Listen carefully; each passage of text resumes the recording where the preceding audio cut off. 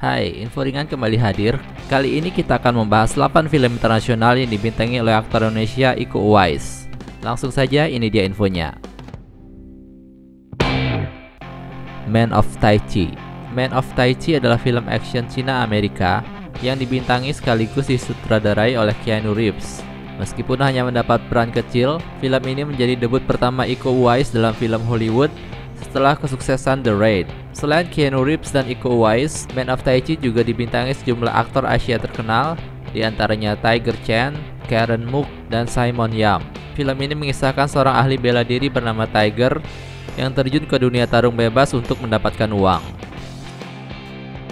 Star Wars The Force Awakens Bersama Yayan Ruhian dan Cecep Rahman, Iko Uwais berkesempatan terlibat dalam salah satu franchise film yang sudah sangat terkenal Star Wars. Meski hanya tampil beberapa menit, kemunculan tiga aktor Indonesia ini sempat menghiasi berbagai pemberitaan media di Indonesia kala itu.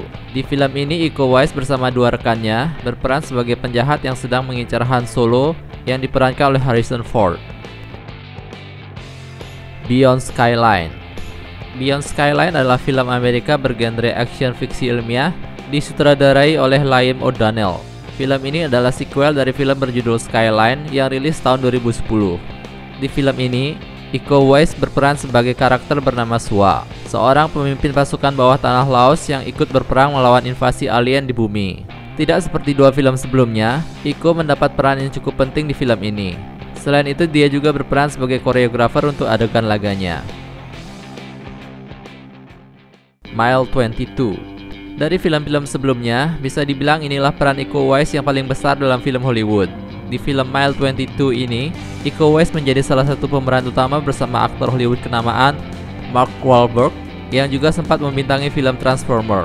Iko Uwais berperan sebagai karakter bernama Lee Nur, seorang polisi, informan dan saksi kunci dalam sebuah rencana serangan teror yang akan dilakukan di Amerika Serikat.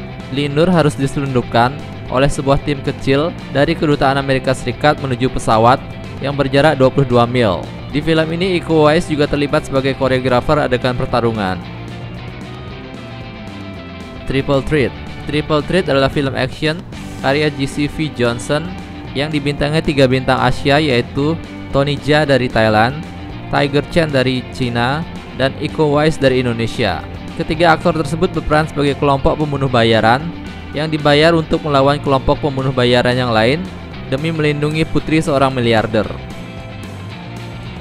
Stuber Stuber adalah film aksi komedi yang disutradarai oleh Michael Dawes.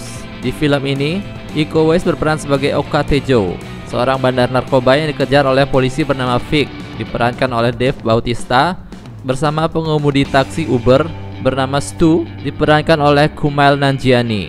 Iko Uwais juga dipercaya sebagai koreografer adegan aksi di film ini. Wu Assassins Wu Assassins adalah serial action yang ditayangkan Netflix mulai Agustus 2019. Di serial ini, Iko Uwais berperan sebagai karakter utama bernama Kaijin, seorang chef di Chinatown, Amerika. Kaijin terjerat dalam pengejaran kelompok Triad Cina yang mencari kekuatan kuno mematikan bernama Wu Xing. Setelah bertemu roh mistis, Kaijin akhirnya mendapat kekuatan menjadi Wu Assassin. Serial ini kabarnya akan dilanjutkan dalam sebuah film berjudul Wu Assassin Fist of Vengeance. Snake Eyes G.I. Joe Origins Iko Uwais kembali terlibat dalam sebuah franchise film dari Universe yang kali ini diangkat dari karakter-karakter action figure Hasbro, G.I. Joe. Di film ini Iko berperan sebagai Headmaster, salah satu guru di klan ninja Jepang yang menjadi awal mula kehadiran karakter utama bernama Snake Eyes yang diperankan oleh Henry Golding. Itu dia 8 film internasional yang dibintangi Iko Uwais. Jangan lupa like, share, komen, dan subscribe channel ini. Sampai jumpa.